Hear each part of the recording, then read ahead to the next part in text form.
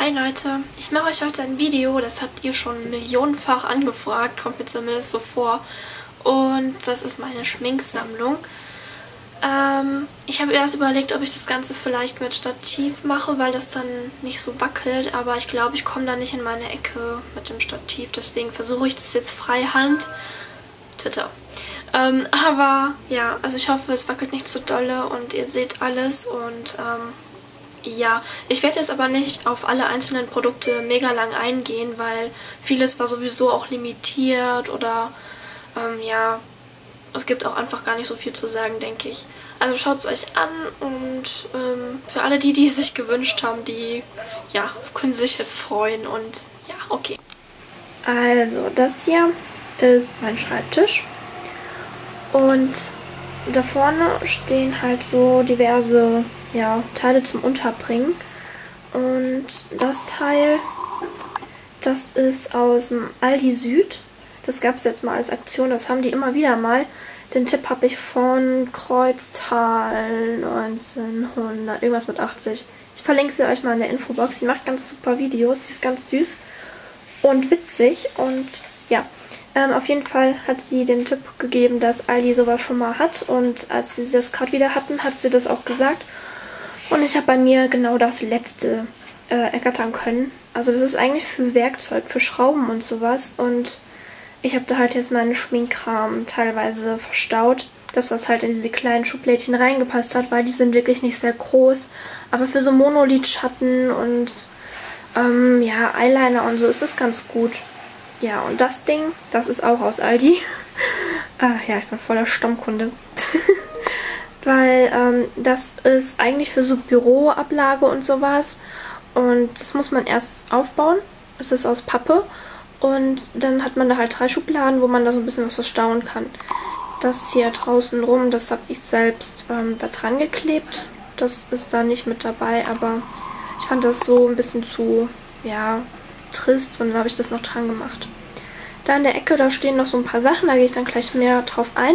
Und nach den Teilen werde ich sehr, sehr oft gefragt, weil man die im Hintergrund von meinem Video oft sieht. Das sind ähm, Boxen aus dem Kick. Ich meine, die hätten so, ja, ich weiß nicht, 4 Euro oder unter 4 Euro noch.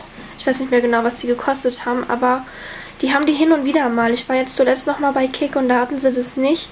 Aber müsst ihr immer mal wieder schauen und dann könnt ihr auch mal dazu schlagen, wenn euch die Teile gefallen. Wobei ich sagen muss, ähm, die haben auch ihre Nachteile. Also wenn ihr die zu voll macht nach oben hin, dann klemmen die schon mal. Also dürft ihr auf jeden Fall nicht überfüllen. Hier geht es dann weiter. Das Teil, da gehe ich auch noch mehr drauf ein.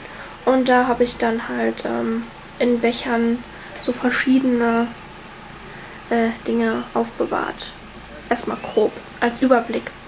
Ja, und das Bärchen kommt nicht in den Schrank. Nur weil es ein Mützchen anhat und so einen Schal, will ich es nicht diskriminieren und ähm, äh, wegpacken, nur weil kein Weihnachten mehr ist, das arme Bärchen. Ja, okay, jetzt äh, geht's aber los. So, ich sitze jetzt auf meinem Schreibtisch und ich fange mal diesem Ding hier an, weil, ja, alles nach der Reihe. Obendrauf habe ich so ein paar Cremes stehen. Das hier ähm, von Balea eine. Die hatte ich erst in klein. Die hatte ich schon ganz, ganz lange. Die haben jetzt schon die Gestaltung wieder anders. Da erzähle ich dann auch noch mal was zu, zu den Sachen. Ähm, das hier Kaufmanns Kindercreme und so. Und Wattepads sind da oben noch welche, die haben unten nicht mehr reingepasst. Und das hier habe ich geschenkt bekommen von der lieben Tatjana. Ich überlege gerade, wie ihr Nickname ist. Pink Fairy, oder? Ich kann mir meinen Nicknamen nicht merken, das ist richtig peinlich. Aber sie verlinke ich euch auch mal unten. Die ist nämlich total lieb. Und ähm, ja, ich habe sie euch auch schon mal verlinkt. Naja, auf jeden Fall. Äh, ich glaube, das Video wird furchtbar lang. Tut mir leid, aber ja, wenn man sowas dreht, dann wird es eigentlich immer lang. Auf jeden Fall. Hier oben drinne habe ich falsche Wimpern. Das hier sind jetzt von Essence aus der Fairy Tale und darunter sind noch welche von Zoeva. Und daneben sind noch mehr Wimpern. Einmal von ähm, Rival de Loop und Cherry, Dingsbums Red Cherry. Die hatte ich mal online bestellt. Und da unten drin liegt noch so ein Kleber, der war irgendwo mal mit dabei. Und hier sind die von P2 aus dieser Make-up-Parade. Und das hier ist noch leer. Da habe ich gestern ein bisschen umsortiert. Und hier fangen dann meine Rouges an. Also das hier ist aus dieser Catrice Nude Sensation, das von L'Oreal und darunter ist noch eins von Essence aus dieser Ethno Couture. Und hier habe ich das aus der P2, äh, wisst ihr schon. Und da ist das von P2, dieses Universe Eyeshadow Teil, was man super als Rouge nehmen kann, was die leider nicht mehr haben. Schon lange nicht mehr. Wovon ich aber ganz viele Backups habe, die ich euch gleich noch zeigen werde. Und halt Cutest Hell. Ich wollte doch gar nicht auf alles einzeln eingehen, naja. Dann habe ich da drinne einzelne Lidschatten. Das sind diverse von Catrice aus Limited Editions, UMA und dahinter ist noch so ein ganz alter Quatsch, gar nicht, das ist der nicht von Essence. Ich dachte, der war von Essence. Das ist von Wet n Wild, so ein schimmeriges Weiß. Das hat mir mal jemand zugeschickt. Und das ist sehr, sehr schön. Das ist richtig farbintensiv und gut pigmentiert und sieht sehr, sehr, sehr schön aus. Und hat auch eine ganz cremige Textur. Und ja, hier geht's weiter. Da habe ich von P2 ähm, die Lidschatten. Ich stelle das mal gerade hier ab. Und darunter habe ich von Essence aus dieser, wie hieß die? Creamylicious. Ähm, da habe ich noch zwei Lidschatten von. Hier geht es dann wieder weiter. Noch ein paar Mono-Dinger.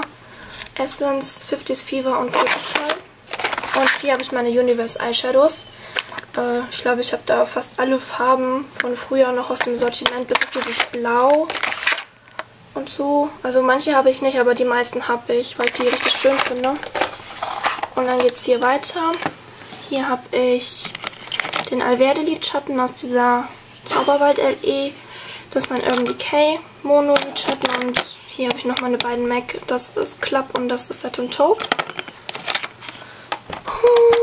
Und dann geht es hier weiter. Da sind auch nochmal Mono-Dinger drin. Das ist der, den ich eben verwechselt habe.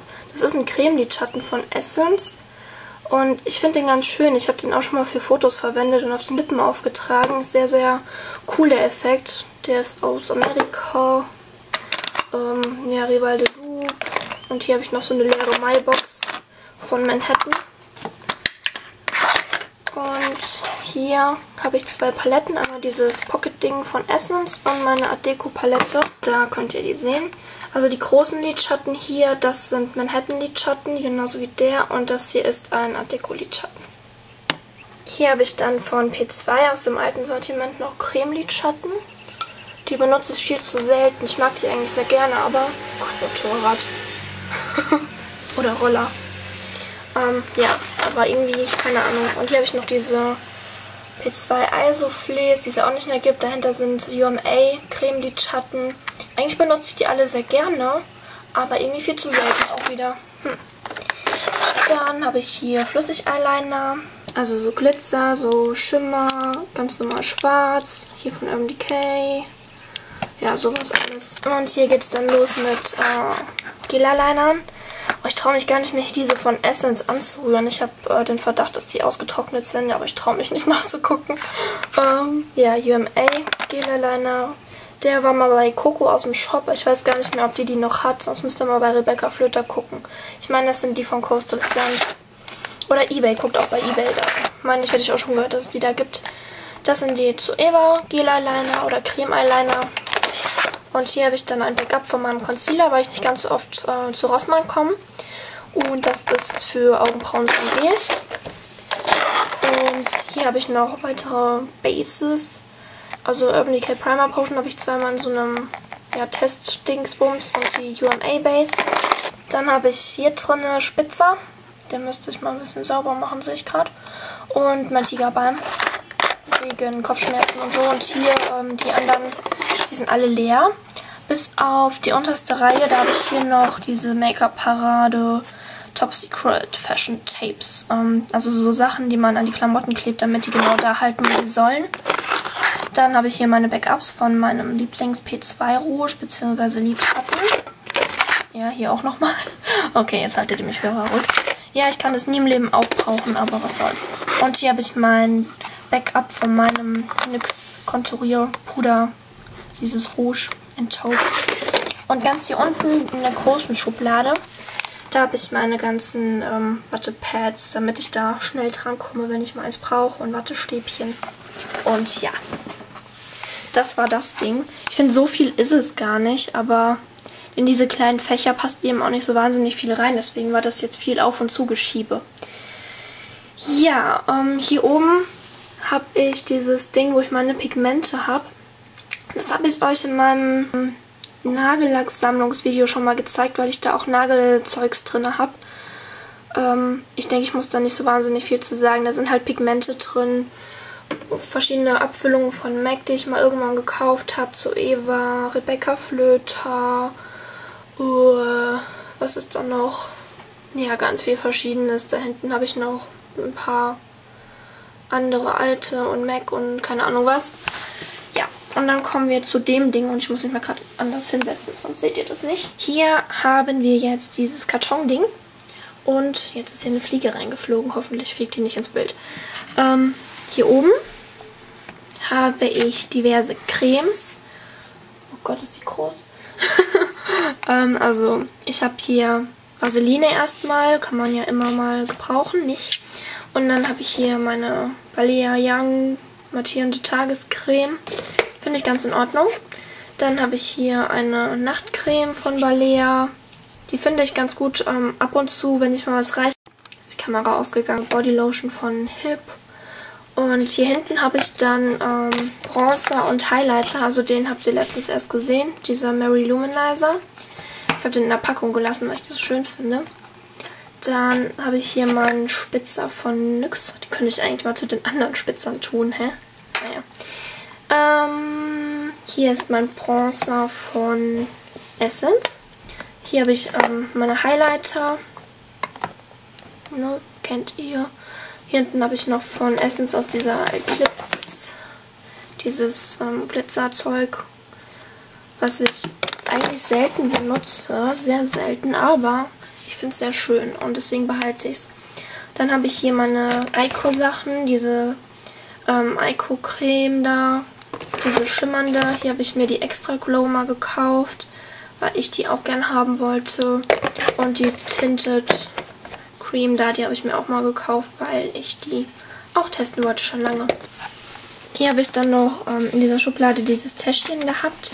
Und da habe ich, Moment, da habe ich so ein paar, ja, so Backups drin. Also der Milk Jumbo Eye Pencil, den habe ich hier zweimal als Backup, weil ich ähm, den gut finde und nicht ständig äh, darauf angewiesen sein will, da irgendwie teuer in Deutschland oder, naja, so teuer ist es ja nicht, aber ich finde es trotzdem noch teuer. Ähm, und dann habe ich mir den mehrmals dann bei einer Cherry Culture Bestellung bestellt und dann habe ich den als Backup und dann ist gut. Genauso wie der Cottage Cheese. Und hier, das hier ist meine Lieblingsbase von P2, diese Paradise Dream Eye Pencil in der 060 Charming Gold. Den gibt es nicht mehr und deswegen habe ich mir davon ähm, Backups gesichert. Und die lagern hier in diesem Täschchen hinten in der Schublade so ganz als letztes, damit sie nicht weiter stören. Und wenn ich sie brauche, dann habe ich sie da. Dann geht's weiter. Und zwar hier. Hier habe ich meine ganzen Paletten drin. Ähm, ich hole die jetzt auch mal raus, dann könnt ihr die gut sehen. Also die hier, das ist so eine Mini 120er Palette. Die habe ich mal bei der Chicarina bei einem Contest gewonnen. Ich habe keine Ahnung, wo ihr die bekommen könnt. Da sind eben auch ganz schöne bunte Lidschatten drin. Die meisten davon sind schimmernd, aber es gibt auch viele matte. Und unten drin habt ihr dann ähm, da so einen kleinen matten Highlighter, Konturpuder und verschiedene Rougefarben. Aber wie gesagt, ich weiß nicht, wo ihr das Teil bekommen könnt.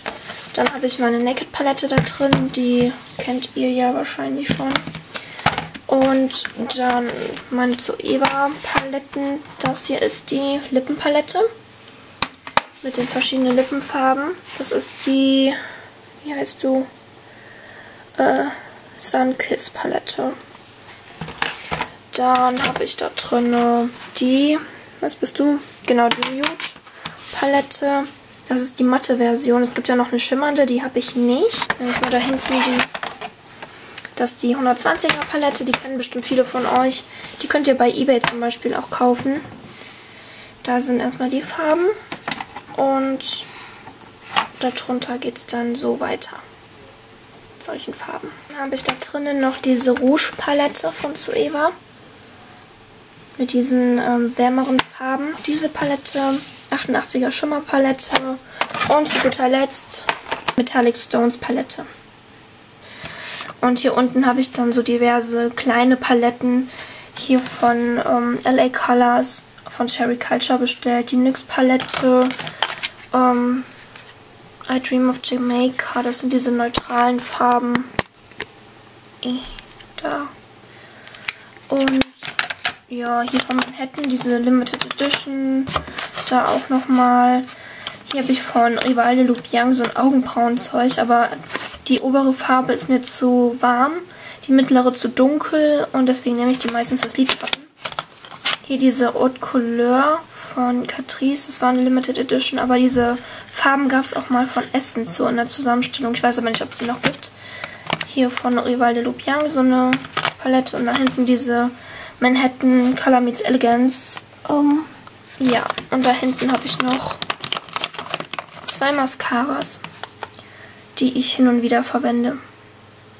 Aber nicht sehr oft, weil ich meine UMA Mascara eigentlich immer benutze. Und mein Fuß schläft ein, ey. Oh. So, ich habe mich jetzt mal auf meinen Schreibtischstuhl gesetzt, weil mein Bein gerade total einschläft und ich hasse das. Und oh, jetzt wird das so eklig. Naja, hier habe ich ähm, meine Abschminktücher von Balea. Die finde ich ganz in Ordnung, aber die nehmen natürlich nur das Grobe runter. Also ich weiß, dass viele nur sowas verwenden. Leute, das geht nicht. Ihr müsst dann nochmal nachwaschen, weil das nimmt nur das Gröbste runter. Da habe ich nochmal ein paar Wattestäbchen, die da nicht mehr reingefasst haben in das kleine Teil. Hier drinne habe ich so, ja, so Haargummis und so Spangen. Moment. Also da sind so, das ist nicht alles, was ich habe, aber das will ich immer hier direkt am Schreibtisch haben, damit ich es griffbereit habe. So die Haargummis von ähm, Ebelin, die Haarklammern hier, keine Ahnung, wo die her waren. Ich glaube mal von C und A, aber ist schon ewig her. Ähm, die hier waren mal aus dem McGuides, meine ich, für einen Euro oder zwei Euro, weil das so ein riesen Set und ich finde diese kleinen Klammern wirklich praktisch schon mal, wenn ich mein Pony zurückstecken will, wenn mich das nervt. Und hier habe ich dann auch so normale Klemmerchen, die waren auch ähm, teilweise in so Sets oder teilweise auch ähm, aus dem Urlaub und ja. Und dieses Schächtelchen, das bekommt ihr übrigens bei Kick. Also ich weiß nicht, ob es das jetzt immer noch gibt. Ich habe das jetzt erst vor kurzem gekauft. Kann sein, dass die das noch haben. Das schließt ein bisschen schwierig, aber ich finde es so, so hübsch. Auch zum Verschenken oder so ist das total niedlich. Und da steht drauf Sweetheart Forever. Also ich finde das sehr, sehr niedlich, aber ähm, ja, ich dachte zuerst so, ja, das ist eigentlich nur so zum Verschenken oder so. Aber mir hat das so gut gefallen. Da dachte ich, irgendwas finde ich schon, was ich da reinpacken kann. Und ja, hier habe ich dann meine ähm, Foundations drin.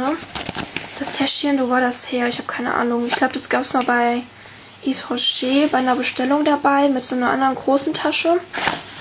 Und ja, hier habe ich das von Nivea.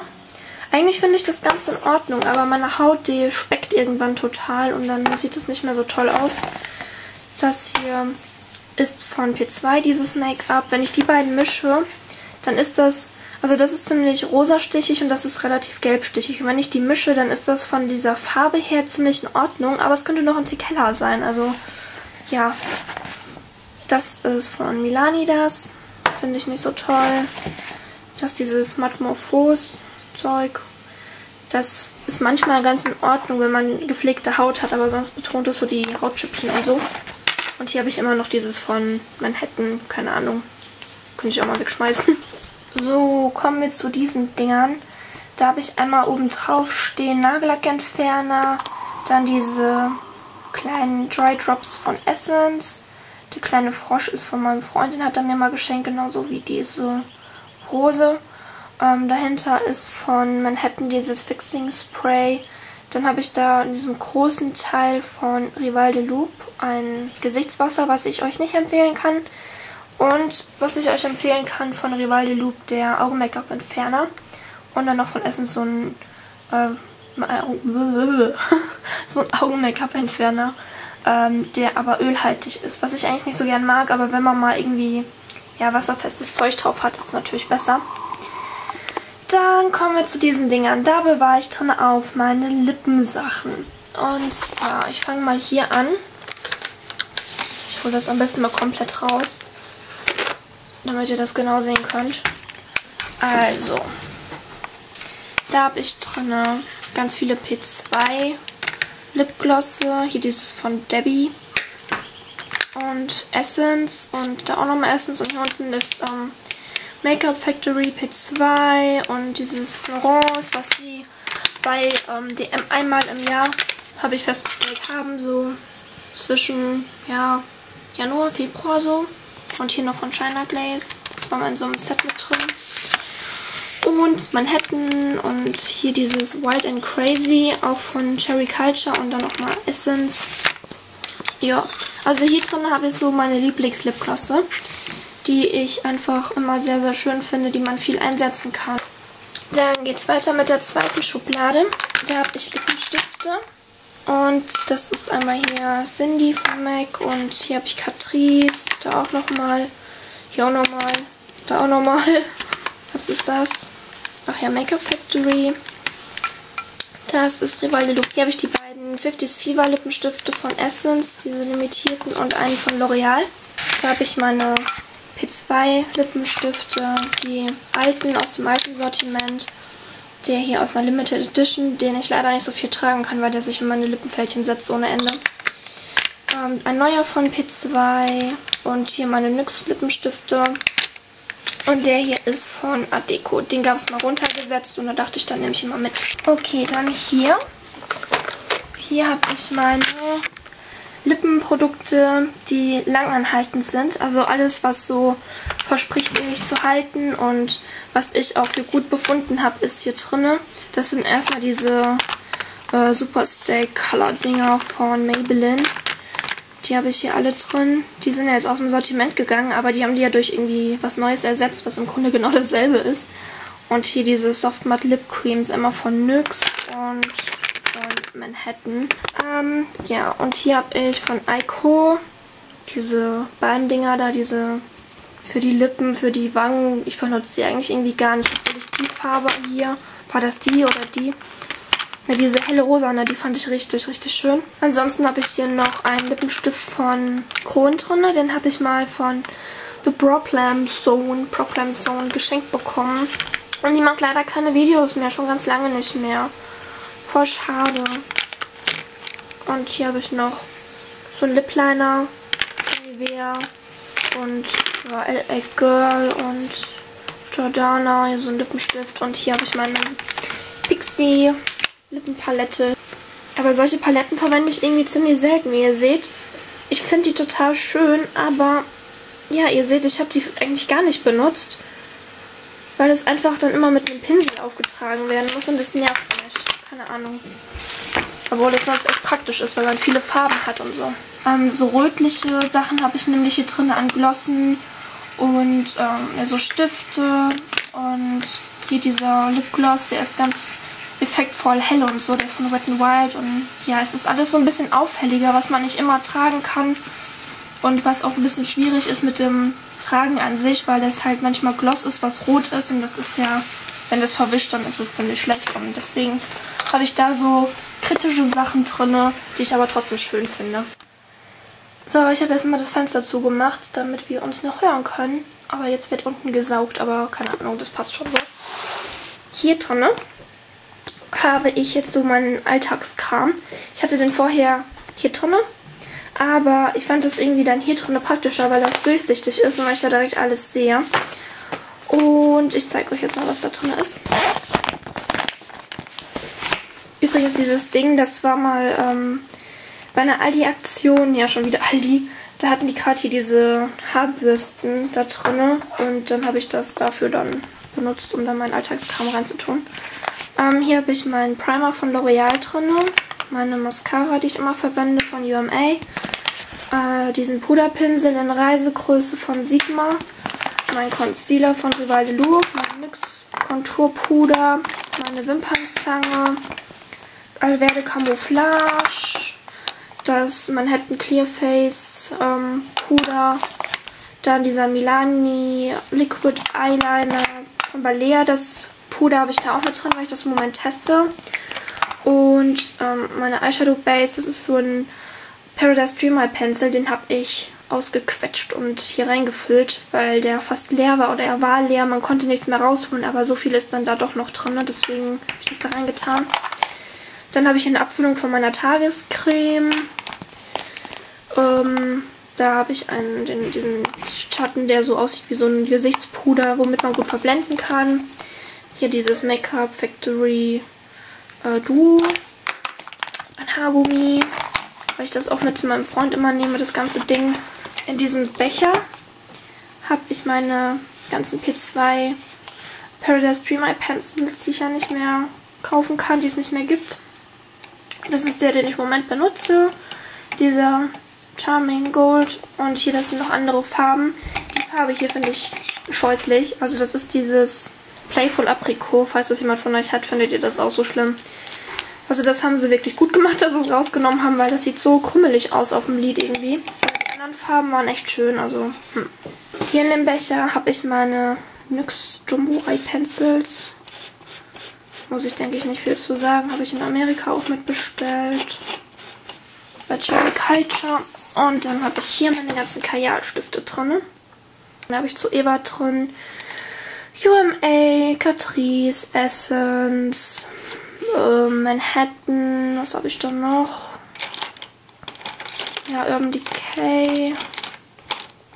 Ja, also ganz verschiedene Eiko. Ja, so und jetzt kommen wir zu äh, meinen Pinseln. Das sind die meisten von Sigma und teilweise von zu Eva. Teilweise weiß ich nicht, wo sie her sind, weil ich sie, ähm, also einen zumindest habe ich von meiner Mutter geschenkt bekommen. Das war der hier. Da haben mich früher mal viele nachgefragt, weil ich dann nie ähm, sagen konnte, wo der her ist. Weiß ich auch immer noch nicht. Sie weiß es auch nicht mehr. Ähm, ja, also das meiste sind halt Sigma-Pinsel und drunter gemischt auch teilweise zu Eva. Die habe ich hier alle so aufgestellt. Das Glas hier, das ist von Ikea. Ich habe keine Ahnung, ob es das noch gibt. Diese Dinge habe ich selbst gebastelt, damit das alles so ein bisschen abgetrennt ist und nicht so durcheinander. Ähm, ja, mein Puderpinsel ist im Moment noch alleine, weil die restlichen Pinsel unten trocknen. Ich denke, ich muss da auch nicht so wahnsinnig viel zu sagen, weil Pinsel-Reviews habe ich ja schon gemacht. Und da könnt ihr die dann auch alle gut sehen. Hier unten noch Kabuki und so und ja, Foundation, Concealer und so ein Kram. So, das war meine Schminksammlung. Meine Stimme geht schon wieder weg. Ähm, ja, ich hoffe, es hat euch gefallen und äh, ja, weil so viele haben danach gefragt. Ich weiß zwar nicht genau, was äh, ihr jetzt davon habt, das alles gesehen zu haben, aber ich denke mal, es geht um die Unterbringung vor allem oder ja. Okay, äh, gibt es noch was zu sagen? Ich glaube nicht. Also einzeln werde ich auf meine Produkte nicht eingehen, das kann ich euch direkt sagen, weil oh, das ist echt dann, das, das werden lange Videos und das hier ist schon ein langes Video geworden. Äh, meine Nagellacksammlung, da habe ich ja ein Video zu, das verlinke ich euch auch nochmal in der Infobox, dann könnt ihr euch das nochmal reinziehen, wenn ihr darauf Lust habt. Ansonsten, ich hoffe, ich habe nichts vergessen. Ich glaube nicht. Ja. Okay, dann war es das jetzt und bis zum nächsten Mal. Tschüss.